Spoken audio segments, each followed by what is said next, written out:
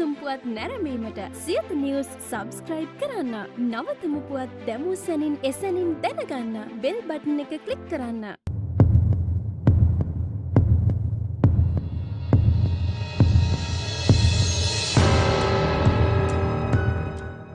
බොහෝ වෙලාවට බොහෝ දෙනෙක් අහන ප්‍රශ්නයක් අපේ රටේ මොනවද නිෂ්පාදනය කරන්නේ. අපිට මොනවද තියෙන්නේ.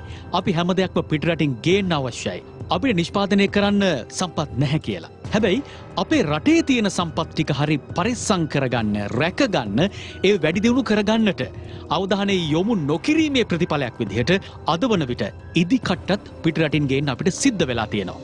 හැබැයි අපේ රටේ තියෙන මේ සම්පත් ටික අපිට ලැබිලා තියෙන අපි ලබාගත්ත සම්පත්තික සංවර්ධනය කරන්න පුළුවන්න. අපිට මීට වඩා වේගවත් සංවර්ධනය ගමනක් යන්නට පුළුවන්. අපි අද මේ වාර්තා කරනට සූදානම් වන්නේ සියත ප්‍රවෘති අපේ රටටම ආර්ථික සොවියක් ලබාදිය හැකි ඒවගේම දහස් සංඛ්‍යාත පිරිසකට රිචුහා වක්්‍ර රැකයා ලබාදිය හැකි අපේ රටේ ධන නිධානයක් පිළිබඳව. ත්‍රිකුණමලේ දිස්ත්‍රික්කේ කන්තලේ නකරේ සිට කිලෝමීටර් දොළහක් දුරින් පිහිටා තිබෙන සීනිපුර ගම්මානේ අක්කර විසිදාහකින් සමන්විත කන්තලේ සීනි සමාගමට අද වන විට මුහුණදීමට සිදුව ඇති තත්ත්වයයි මේ.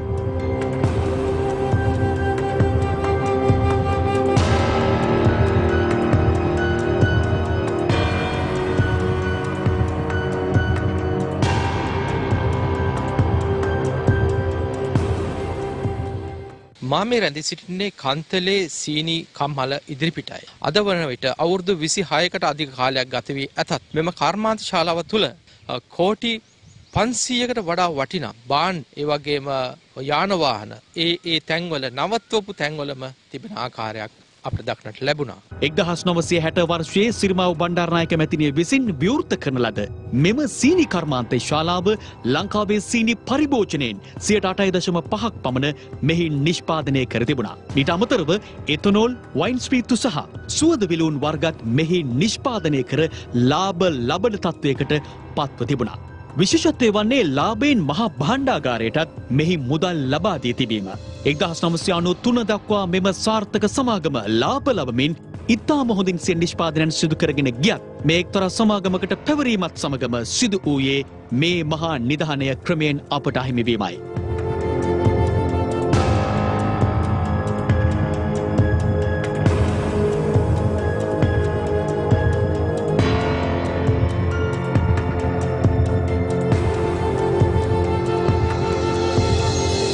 සේවකින් දහස් ගණනක් රිජු රැකයා කරමින් දස දහස් ගණනක් වක්‍ර රැකයා කළ මෙම ආයතනය අත්‍යවශ්‍ය සේවකෙන් දෙසිය පණහක් රොඳවාගත් අතර අදටත් ඉන් සේවකින් තිස් හතර දෙනෙක් සේවාවන්හි නිරතව සිටිනවා. ඔවුන් පවසන්නෙත් ඔවුන්ට මාස හය හතකින් හරි හමන් වැටුපක්වත් නොලබුණු බවයි.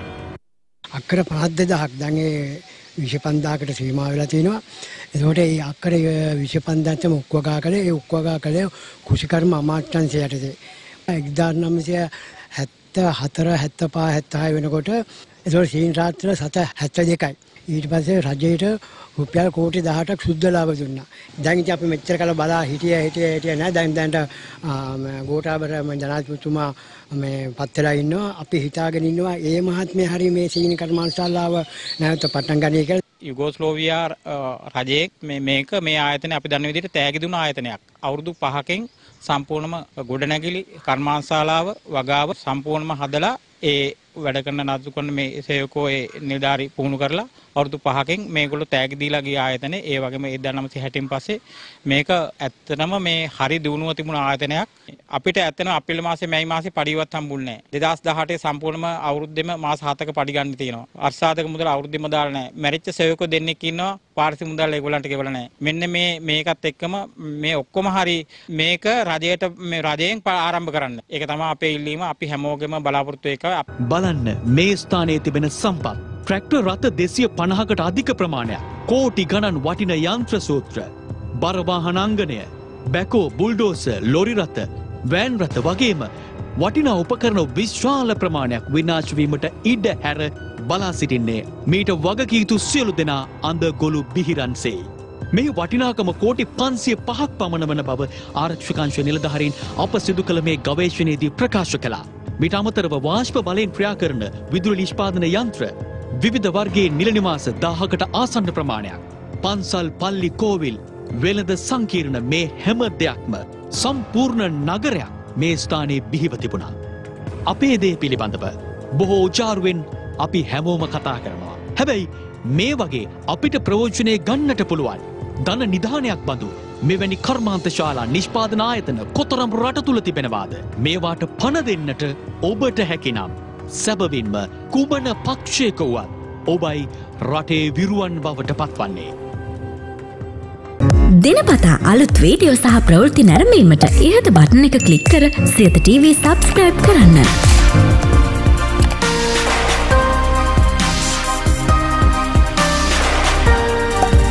අලුත් වීඩියෝ ගැන මුලින්ම දැනගන්න මෙම සීනුව කලික් කරන්න.